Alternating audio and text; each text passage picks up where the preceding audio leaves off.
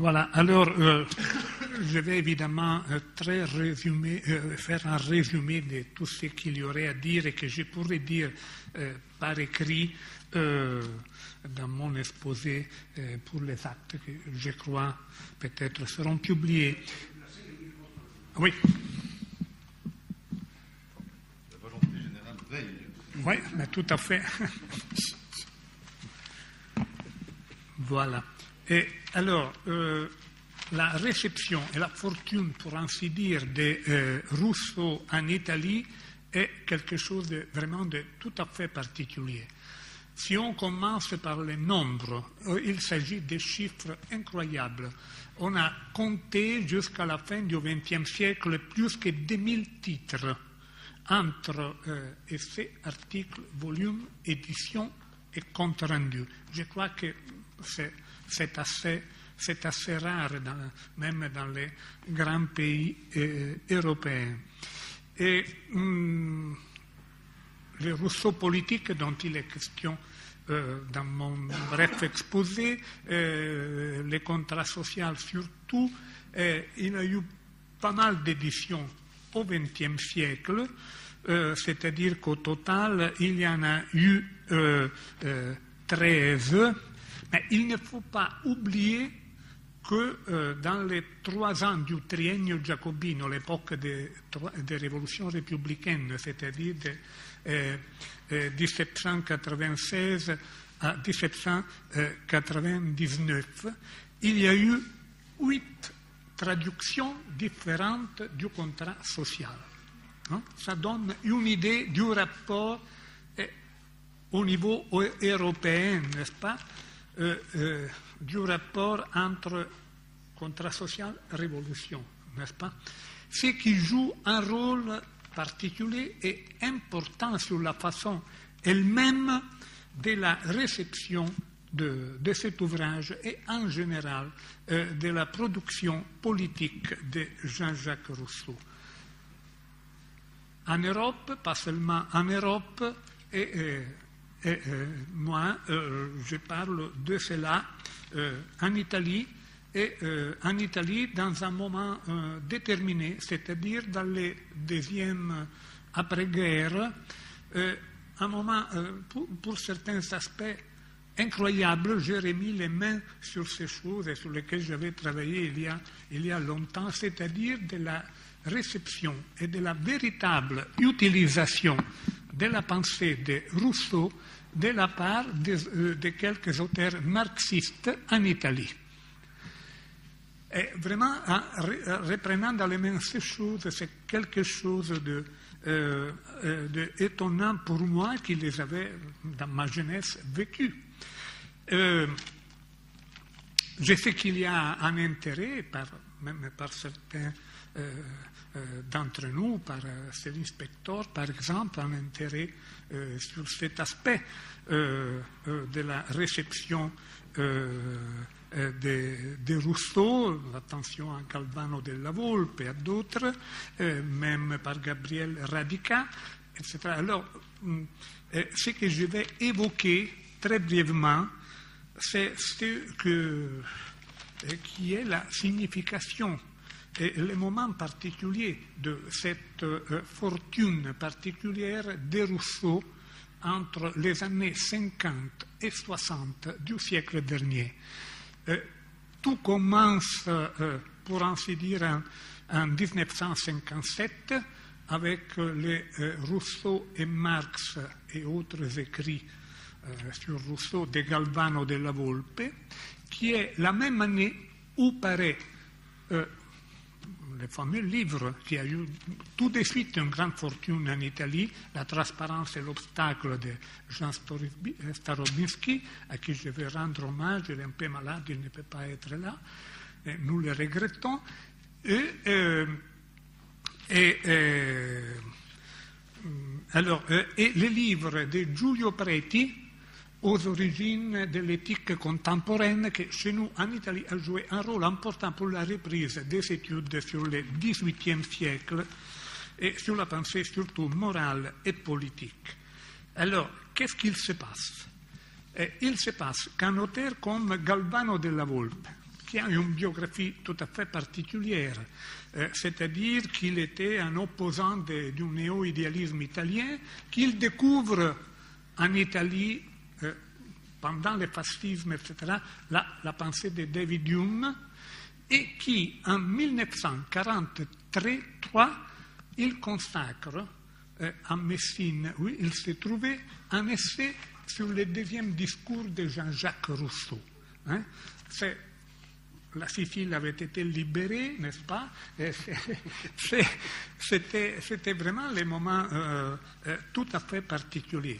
Et c'est la même année où Palmiro Togliatti, retourné de, euh, de, de Moscou, hein, le, le, chef du Parti communiste italien, avait, euh, euh, euh comment dirais-je, euh, fait le, fameux tournant Salerno, c'est-à-dire de, de, la transformation du Parti communiste italien en parti qui devrait participer à la constitution républicaine italienne et, euh, et, qui projette tout de suite la publication des cahiers des prisons d'Antonio Gramsci.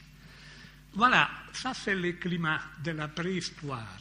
L'intérêt pour Rousseau, pour le discours sur l'inégalité, mais pas seulement euh, pour les discours sur l'inégalité, mais aussi pour le contrat social de Galvano de la Volpe, a une préhistoire qui anticipe celle de euh, 1957, l'apparition de euh, Rousseau et Marx, qui regroupe ces essais, et qui a une édition, pour ainsi dire, définitive en 1964.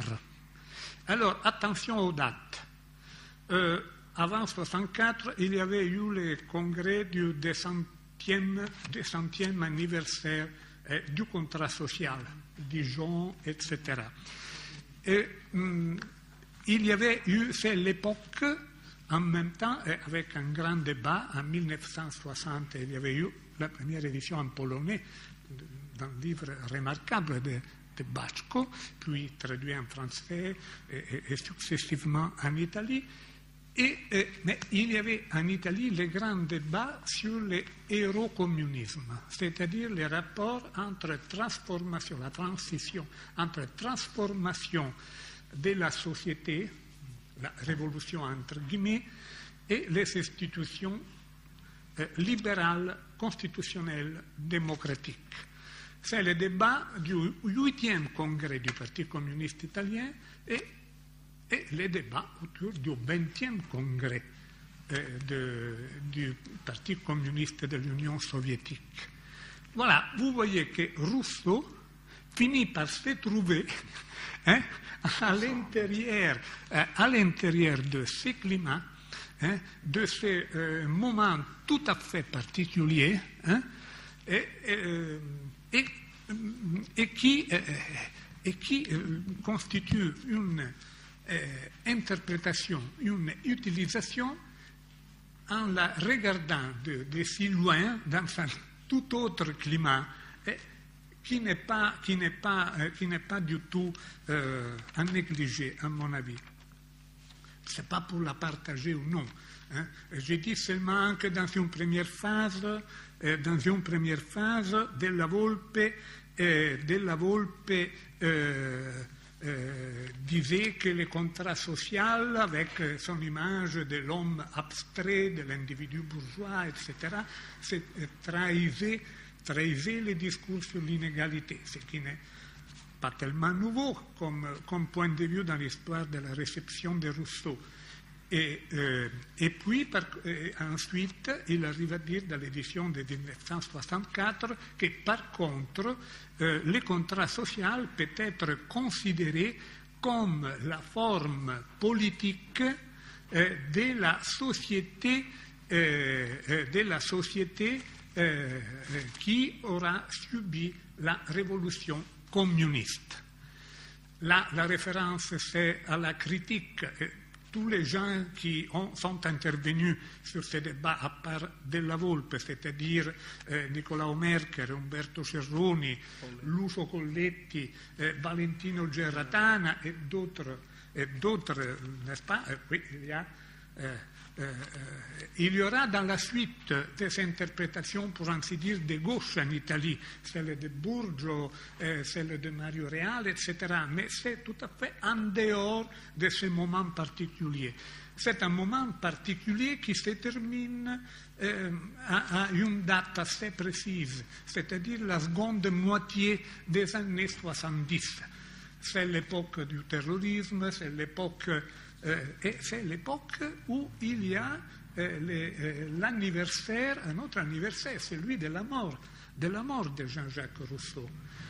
on a eu une petite expérience chez nous en Italie euh, c'est-à-dire qu'un euh, cahier de notre département euh, de, de, philosophie à l'oriental de Naples a été consacré justement à, à, cet anniversaire avec des contributions de Starobischi, de Bacco, de Francesco Valentini, de Paolo Casini, de Sergio Cotta et d'autres. Quels sont pour certains aspects les éléments de nouveauté dans ce nouveau climat que euh, est mise en question la primauté de l'interprétation, je parle pour notre pays, dans euh, l'influence de, ce qui se passe euh, dans notre pays, est mise en cause la primauté de, euh, euh, du Rousseau politique. Le titre de Sergio Cotta, par exemple, était de l'insuffisance de la politique chez Rousseau. Celui de Katia Tenenbaum, c'était entièrement consacré à l'individualisme et à l'autobiographie, n'est-ce pas? Voilà. C'est un climat en, vraiment en tournant. Voilà. Alors, il y a une période hein, tout à fait particulière qui utilise Rousseau, et je vous dis, je crois que combien de temps j'ai? Cinq minutes. alors, euh, alors euh, je, ne cite pas, je vous épargne les citations et je vous résume, parce qu'il ne faut pas euh, vous ennuyer ni gaspiller le temps. S'il si, y a des questions, après je peux éclaircir mieux les choses. Alors, ce qui se crée, c'est une, sorte de scolastique à l'intérieur euh, des intelligences, des meilleures intelligences de gauche en Italie, n'est-ce pas, dans, cette période-là. C'est-à-dire qu'il se crée euh, l'opposition euh, entre les courants qui, fait, part de Rousseau, qui arrive à Marx, jusqu'à Lénine, et puis l'autre, les, les courants libéraux, hein, Hein, c'est-à-dire les libéraux Montesquieu, etc., jusqu'à Kant, Constant, euh, Kelsen, et, et, voilà. Mais à l'intérieur de cela, il y a les grands débats sur les problèmes de la euh, forme politique du, euh, euh, euh de la première phase du communisme parce qu'il y avait des, des, des, intellectuels tels que Norberto Bobbio qui poussaient les intellectuels euh, de gauche italiens à leur dire oui, vous voulez changer l'économie, l'égalité, ce que vous voulez, mais quelle sera la forme politique après hein? Vous dites l'abolition de l'État, mais ça c'est l'utopie, on le sait, on ne peut pas le faire. Et c'est à partir de cela que s'ouvre justement ce débat. Et euh, euh, je termine, euh, éventuellement je peux mieux expliquer si, si quelqu'un est intéressé.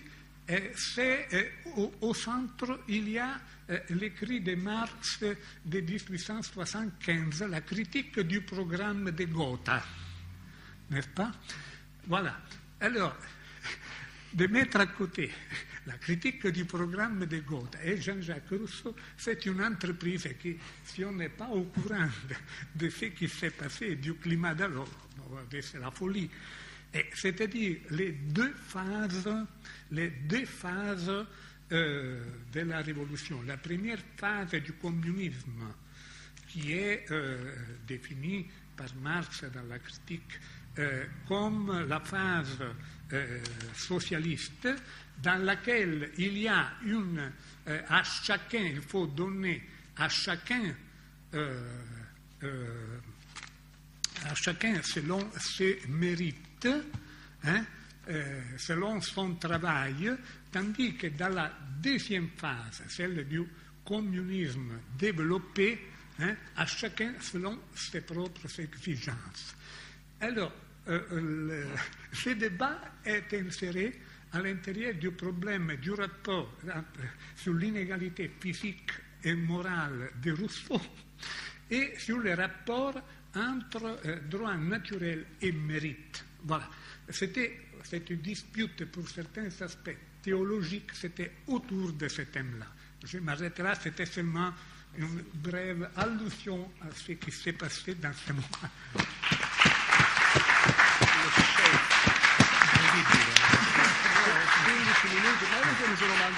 15